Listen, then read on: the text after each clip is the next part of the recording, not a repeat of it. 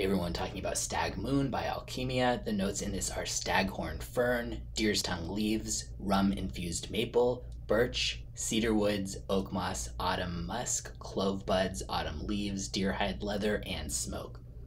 To me, this, especially in the opening, smells like eating maple molasses cookies with a small shot of rum in a cool, damp forest on a fall night.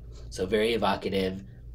Definitely something that would feel kind of cozy and comforting, I think, if you like that type of scent or the idea of it. Uh, very deeply woodsy, but not in a extreme way, not in like super hyper masculine way or anything like that. More of just like cozy, comforting.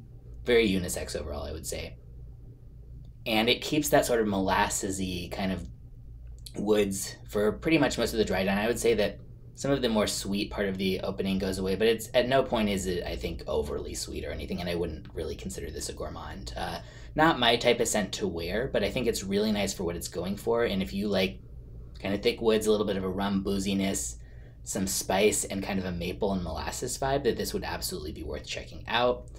Uh, I don't think there's a link to easily buy a bottle or sample right now. I got mine on Reddit, so I would suggest checking the subreddits for like Fragrance Swap and Indie Makeup and more, and I'll reference those in the description. Those people are often both selling like indie fragrance samples like this, or maybe Alkemia will bring this back in stock.